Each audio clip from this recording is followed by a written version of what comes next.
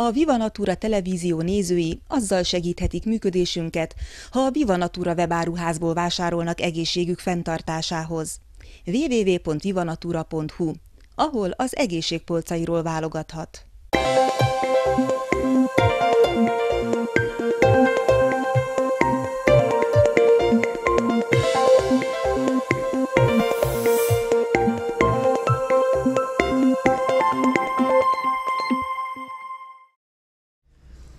Nagy-nagy szeretettel köszöntjük a kedves nézőket, VNTV-t vagy Vivanator televíziót látnak.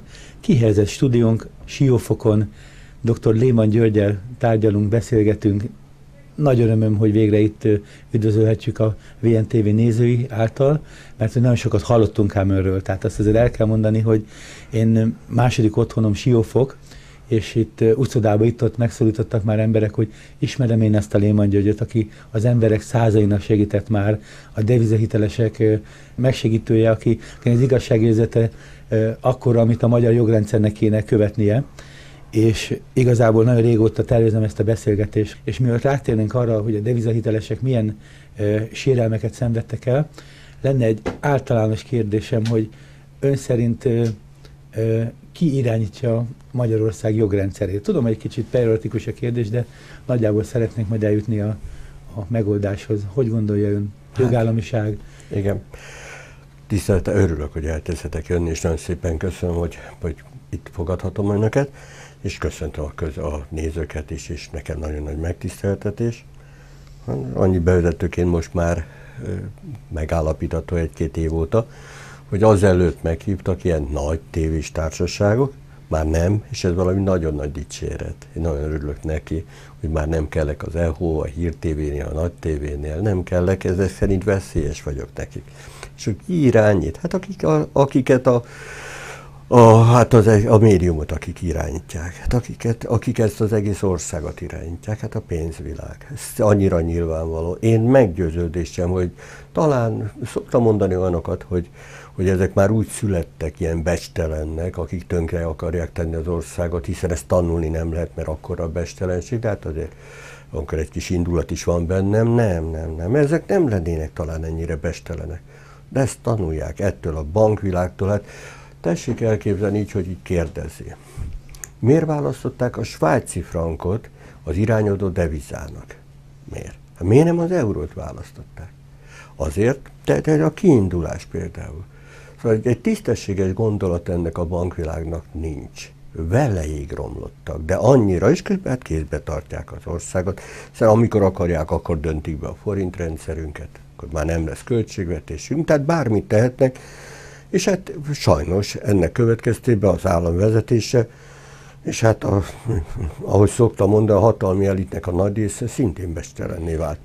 Na szóval miért is miért a svájci frankot, frankot választották irányadó devizának azért, mert abban az időben, amikor ez szóba került, tehát ez akkor került szóba, amikor az államilag támogatott, lakosságot támogató fogyasztói hitelek, azok megszűntek, mert elfogyott a pénz. Annak is meg volt a története, de olyan régi időkre nem menjünk vissza. Azért Megyesi Péternek azért még futotta még egy kis állami támogatású forint hitelre, szóval Azért őnek itt valahol a Kilátó utcából egyébként mellesleg a Siótúrnak az eltulajdonított ingatlana éppen az ő vélet véletlenül. De megint az egy másik történet, szóval ennyire nem menjek megint vissza, de van bajom ugye az egész bandával.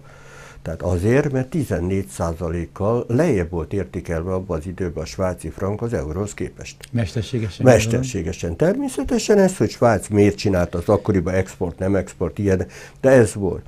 Tudta jól ez a bankvilág, hogyha a svájci frankot fog majd behozni, de egy irányadó devizaként, akkor ez a 14 százalék néhány éven belül, pillanatokon belül megjelenik, és az tiszta haszon. Tehát valaki 10 millió forintos kölcsönt felvet, abból 1 millió 400 ezer forintot ezzel az egyszerű kis buta manőverrel már is zsebre tette a bankvilág az adósok rovására. Így kezdték. Menjünk vissza egy kicsit, Menjünk. Ugye, a jogállamiságról beszéltünk, Igen? tehát engem, mint egy jó szándékú állampolgárt, Igen. aki hiszek az igazságszolgáltatásba, de legalább a jogkövetésbe, és akkor nem az igazságszolgáltatásba, Igen. egy napon nekem meggyőződésemé válik, hogy egy állam elvesztette a jogállamiságát, tehát már nem a jog el. Ne, nem, nem, nem a, a névfelség, meg sorolhatnám, irányítja a bíróságok döntését, a hatóságok döntését. Nekem, mint állampolgárnak mennyire kell jogkövető magatartással lennem a rendszer irány, aki már nem a magyar állam, hanem egy háttérhatalom, amit a pénzügyi világ irányít Magyarországon és Igen. más külföldi országokból. Tehát nekem milyen jogkövető magatartás kell ezekkel, ezek szerint nekem az államom, a bank az állam, tehát itt a bankok által írt törvények vannak. Nekem, mint állampolgárnak, ha még nem rabszolgának hívnak egy adós rabszolgának, akkor én hogy, hogy kell a magam jogállását felfognom ebbe a környezetbe? Természetesen viszonozni kellene ezt a hozzáállást, de nagyon meglepő, ugye hát rengeteg ügyfél jön most is, rengeteg ügyet felveszek, és a mai napig nagyon tisztességesek a mi magyar honfitársaink. Ez, ez, ez egyszerűen, megdő, egyszerűen nekem megdöbbent. Szok, sokszor azért mérgelődök vele, hát, hát ne vedd már komolyan, ne vegye már komolyan a bankvilágot, hát ez a rohadt bankvilág 40 ezer forint helyett 90-et kér. Akkor maga miért nem mond rá tízezret? Mennyivel erősebb az ő szava az ócska 90 ezer forint követelésre, amikor 40 ezerre kötöttek, mondjon maga meg tizet. Teljesen logikus, hát ez polgári szerződés. Itt mellérendeltség és egyenrangúság van a felek között.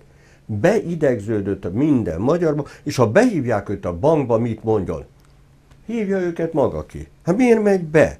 Hát ne haragudjon ott, ahol csak fejbe csapnak engem ezerszer. Oda bemegyek ezer egyszer.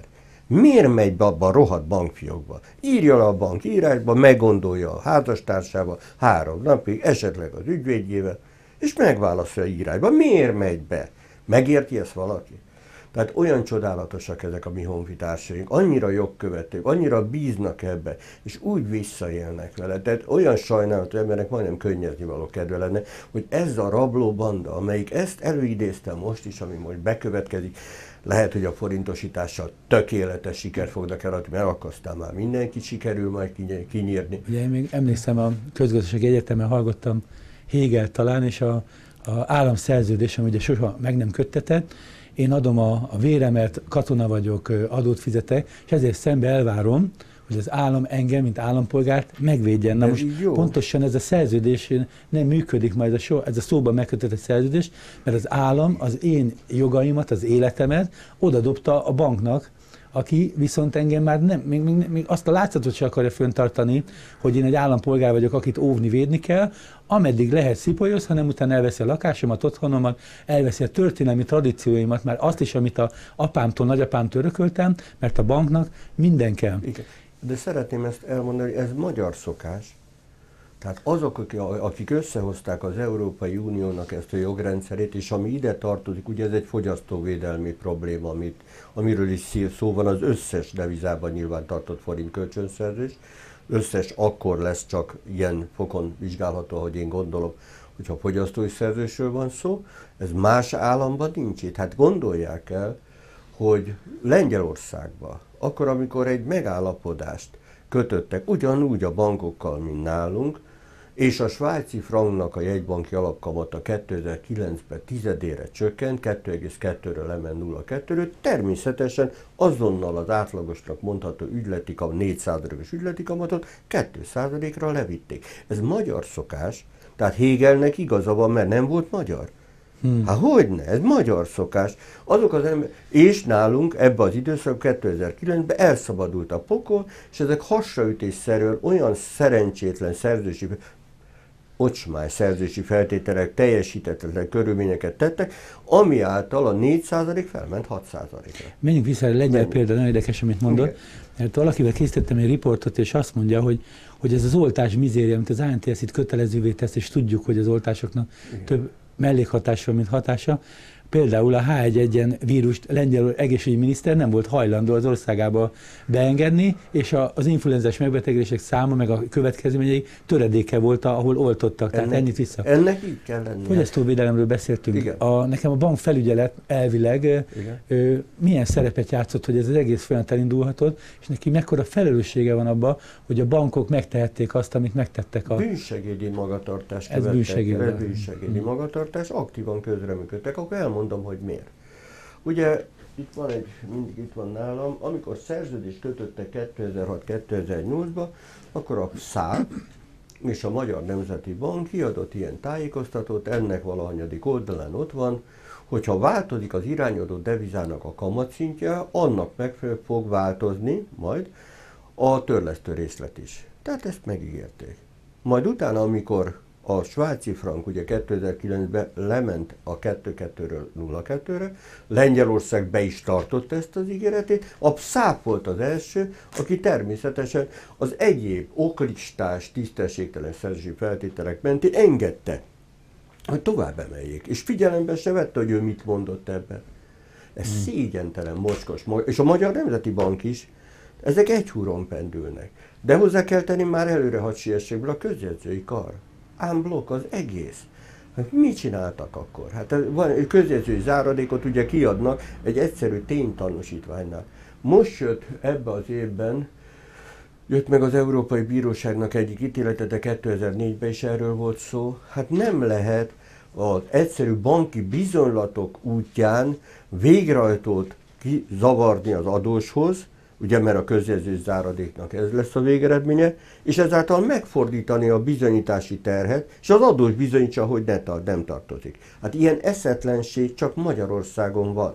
Ezt a közjegyzés záradékot másút tisztességes országban, tehát nem Magyarországon, hogy csak akkor lehet használni, hogyha az adós nem vitatja, a jogosult felé fennálló tartozás. Tehát amikor 2009-ben elmentem a közjegyzőhöz, leszurkoltam neki 350 ezer forintot azért a 25 percél, ami alatt ő folyamatosan engem csak fenyegetett a, a jogtalanságomról, neki kellett volna a jogaimat e, elmesélni, és például egy olyan sztori, hogyha a svájci frank lejjebb megy, akkor a, a banknak veszteséget kell elszámolni, és nem nyereséget. Igen. Hogy ezt valahogy elfejtették, hogy elvileg a svájci frank, ha ők nem tudják előre, hogy ez 14%-ot nőni fog, akkor kalkulálni kellett volna azzal, hogy neki kellett volna nekem visszafizetni. van, tehát lehet látni, hogy ez egy, ez egy csalás volt. Az volt. Hát és tessék, elmondanom, ha megtetszik, ne haragudj, hogy belevágok ebbe, igen. mert mindig hát erre mi a válasz. Igen. A polgárjogi legfontosabb, én legfontosabbnak ezt tartom alkotmányos alapelv az, hogy a szolgáltatásért megfelelő mértékű ellenszolgáltatás jár. Mm. Abban a pillanatban, mihelyt ő tudta, hogy mindenfajta ellenszolgáltatás nélkül zsebbe kerül 14% ebből a manőverre, megszegte. Hát alkotmánysértően járt el. De zavarja ezt valaki ma már? Ocsmány, olyan ocsmány ez a hatalmi elit, amelyik ott van, ez amelyiket ezt az egészet létrehozta. És szoktam mondani, az előbb, ha már a közjegyzők voltak, ne legyek részrajló, és az ügyvédek, 12 ezer ügyvédből. Tetszenek tudni, hogy általában Szeged, Gyula, Nyíregyháza, Miskolcról jönnek ide az emberek, ja, a Siófokról alig. Ezek megtesznek 2-300 kilométert azért, hogy ide jussanak. 12 ezer ügyvéd kollégát. Ez a nehéz megtanulni ezt a néhány jogszabályt, amit ehhez kell tudni. Egyik hitványabb, mint a másik. És amikor meg tetejében még látom, hogy hogy működnek azok a, köz, a végre, ügyvédek, akik meg vállalják a pert, hát az meg inkább posztogatásnak nevezni, mint jogszolgáltatásnak. Akkor menjünk ide vissza egy kicsit, tehát ön azt mondja, hogy azok a szerződések, amit 2009-től kötöttek, Igen. azok veleig romlottak. Pillanat, pillanat, egy, egy 2004, Négy. ugye május 1-től kell legyen, mert igen, az Európai Unióhoz kötődünk, igen, igen. és 2009 év elejéig tehát ebbe az időszakról van, ekkor kötöttük. 2009-ben bedőlt a svájci franknak egy banki alapkamat, akkor elkezdtek már kapkodni. Tehát uh-huh. ott már ősszel már, már tisztázódtak a dolgok. Tehát öt évig olyan jogtalan szerződéseket kötöttek, ami semmiféle jogalappal nem rendelkezik a mai napig, és akkor most hoznak egy törvényt a forintosításról. Tehát mi történik akkor, amikor én bemegyek a bankba, és azt mondom, hogy forintosítsák? Én nagyon szépen köszönöm, hogy és, ne, és nagyon kérem, ne haragudjanak rám, de hát nekem ez a dolgom, javítok. Úgy tetszett mondani, hogy semmilyen jogalap, de ezek a szerződések, ezek másod nézetem. Igen. Tehát olyan jó, hogy megkérdeznem, hogy el tudom mondani. Jó. Ezek a szerződések, tehát a devizában nyilvántartott forintkölcsön szerződés, ezek tökéletesek. Ezt megállapítottam még most 2013-ban is ez a 6 per 2013-as jogegységi döntése az kúriának, tökéletes, és igaza van a kúriának. És mindenki, aki próbálja a kúriát egy ponton is szidni, az, az, azt én nem tartom embernek. Mert ha valakiben még bízom, az a kúria, illetve az Európai Bíróság, Luxemburg. Hát ebbe, csak ebbe, hát itt a többi kiüresedett.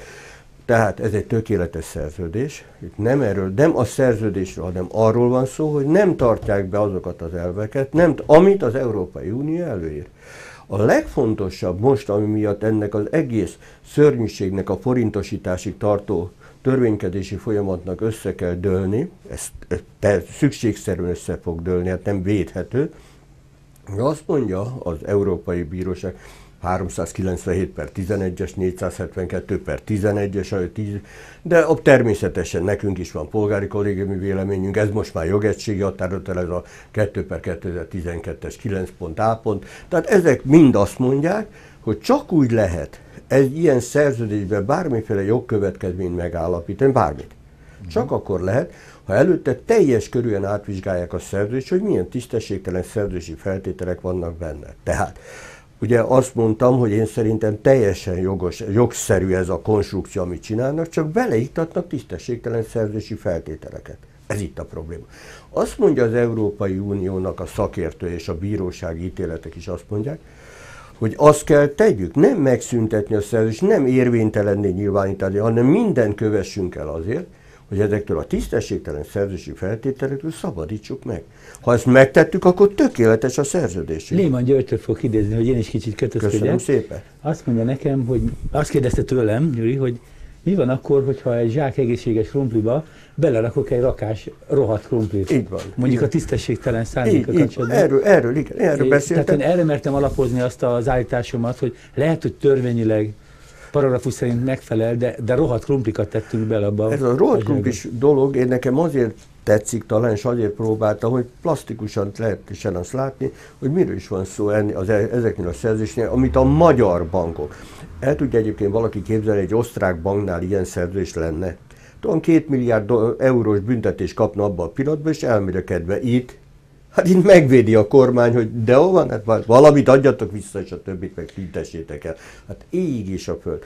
Tehát a rohadt krumplinál mit tett a kormány? Ennél most van a 2014 évi 38-as törvény, ugye ott, ahol az árfolyam különbözet és a, az egyoldalú szerzős módosítási szerzősi feltételekkel kapcsolatos problémát tárgyalt. Kettő darab rohadt krumplit kivette egy olyan krumplizsákból, el, ahol nem tudjuk, hogy mennyi a rohadt krumpli, mennyi az egészséges, de bűzlik az a zsák, mint az állat, tudjuk, hogy van benne, és ezek után azt mondja, hogy most már ettől kezdve a zsák az egészséges. És most a forintosításnál az egész zsákot természetesen most már a rohadt részét is egészségesnek kell adja. A többivel nem foglalkozik. Tehát hagyj fordítsam ezt a kedves nézőket. Ha én most újból aláírom ezt a forintosítást, legitimizálom azt az egész rohadt zsákrumplit, ami bűzlik egyfolytában, azáltal, hogy én most újból persze, aláírok neki. Persze, persze, így van. Még visszatérve egy, egy gondolat, hogy amikor járok Afrikába, azért Igen. ott lehet látni, hogy Humbutumbut, meg Nigériát, meg, a, meg azt a kis tanzániai feketét ugyanilyen módon semmibe veszik, mint minket, csak azt hittik, hogy itt Európa szívében Igen. mi nem lehetünk ilyen szintű rabszolgák. Igen. Már bocsánat ezért az analógiáért. De, de ez, ez, ez, nem, nem, ez sajnos, nem tudom, hitványál. És a, a magyar még mindig valahol eltűri, ezt nem fordul úgy szembe, hogy én mondom, hogy nem megyek be, nem működök egyet, nem válaszolok. Jó. Milyen reményt tudunk adni annak, aki viszont otthon remeg a kis másfél szobás kis lakásába valami hülyesége miatt fölvette, mert rá volt kényszerítve, nagyon megbízik önbe, de viszont a, a bank mindent megtehet, el, úgy, úgy azt mondja, hogy ö, kilakoltatási moratórium van, de eladja a, a végrehajtó cégnek, és mégis kilakolt. Tehát milyen reményt tudunk adni nekik? Tessék a bírósághoz benni, illetőleg a bankot késztesse, hogy menjen a bíróságra. Fogom is, olyat nem szoktam mondani, hogy egy fillért ne fizessen. Ezt nem mondom soha, Aha. mert ez egy szerződés megszűnési eset, ugye a teljesítés megtagadása, ez nem jó. De egy valami bagatel összeget adjon, és azt mondja, én szerintem ennyi a törvényes. És kész. Mit tud tenni a bank? Megindult termés, megindítja a bírósági eljárást. És alig várom. Alperes lehetek. Ő meg vez, vezes fel, mennyivel tartozom. Én meg védekezek. És ami a védekedés, nek is rengeteg védekedés van ebben ez a kockázatfeltáró nyilatkozat, vagy a hitelképességvizsgálat. Hát valamelyik bank egyszer is csinált hitelképességvizsgálatot. Csacsiskodunk? Ne vicceljünk. Hát ott buktatom el őket, ahol nekem tetszik. Hát jó vagyok abban a rohadt perbe. Nem fizetem, menj már bíróságra. Ezért akadálya nekem a közjegyzői záradéknál, hogy azonnal végrehajtás és megfordul a bizonyítási teher, és ez így nem mehet tovább. Itt majd egy érdekes dolgot, ha megengedi, majd később mondani. Ezt javaslom. És a védekezés legutolsó része, hát mi van a kártérítéssel? Tessék nekem megmondani, egyetlen egy országos képviselőnek nem jut eszébe, hogy hát az életminőség romlásomért. Hát ezek magyar emberek, de tisztességes földet túró vagy kétkezi munkával élő emberek. Ezek nem olyan gazemberek, mint akik ott ezt a törvényt megalkották. Ezek nem gazemberek, ezek rendes emberek. Ezek, ne, ezek szerettek volna szeretni a házastársukat, gyereket nevelni, színházba menni, helyett mi volt? Hát tönkretették az életüket. Mennyi kárt is fog akkor fizetni a bank ezért? Hát nem vagyoni kár mikor kerül más szóba? Ez erre volt életükért nem hát, lehet semmit hát, fizetni. Hát, de, hát, hm. évi két millió forintot például el tudok képzelni. El tud, hát, hát, de a bíróságon meg is kérem, hogy Összefoglalva, tehát, hogy, hogy ő azt ne tegye meg, hogy nem fizet, csurgasson, Valamit kell. és kényszerítse rá a bankot, hogy, hogy ő legyen, perelje be, mert abban a pillanatban, mint alperesként az európai jogra hivatkozva, hogy meg mindenre, így, sokkal több esélyem van, hogy nyerjek a bankkal szemben. Így van, Hány megnyert pere van önnek? Hát ez úgy alakult, hogy három évet, talán három évet csinálgatom a pereket, eleinte azért ritkaság volt. Aha. Szóval voltak azért gondok, bajok, pertárgyértékben, de a kúria mindig segített. Aha. De itt mondtam az imént, hogy a kúria és az Európai Bíróság kifogástalan munkát végez. Ez tényleg elfogult vagyok vele. Biztos volt még a kúriás olyan, ami esetleg ér, de ezek, ne, nem, nem bírom kiadni. Szóval. Az Európai Bíróságot nem az ottani bank, bankoligarchia irányítja? Már most elnézést. Azt nem. Azt, azt nem. nem. Van egy, Szeretném van, van egy Varm nevezetű úr például, ez egy szakértő az ha. Európai Bíróságnak, de mondhatok egy olyat is, hogy Trenyák asszony, szlovén jogász professzor, összesen vannak talán nyolcan ilyen ha. szakértők. A, olyanokat tesznek az adósok érdekébe, hogy tehát a, amikor az Európai Bíróság ítéletet hoz, amit, ami nekem nem jut eszembe. Elmondok egy példát. Hmm. Számomra természetes volt, ugye abból fakadóan, hogy a szolgáltatásért megfelelő mértékű ellenszolgáltatás jár, ugye ez az alkotmány számon, tehát hogy az árfolyam változás az adós viseli. Mit mond Varmur? Nem. Nem, nem, nem.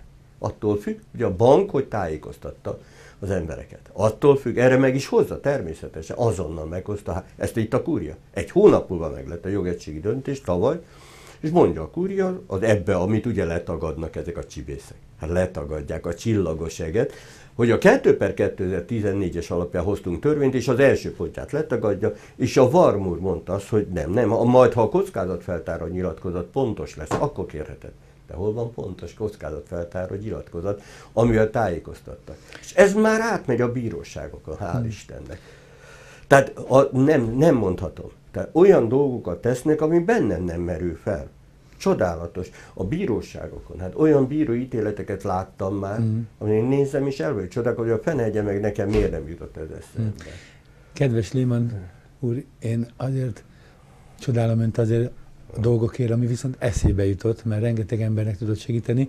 Megmondom őszintén, hogy ön most egy újból egy, egy szikrát fog adni azoknak a ja, de... teljes kétségbeesésbe élő embereknek, akik látják, hogy most az, az, a mainstream média azt mondja, hogy ki meg vagytok mentve, és ugyanakkor látják, hogy semmiféle, semmiféle Semmi. alapvető változás nincs az életükben. Nem lesz itt baj azért akkora. Nem megy, nem megy ez a fiúknak. Na. Neki fogtak, nem, majd Nem megy ez a fiúknak, nem, akkor nem. legyen ez az árszavunk. Folytassuk ezt a beszélgetést.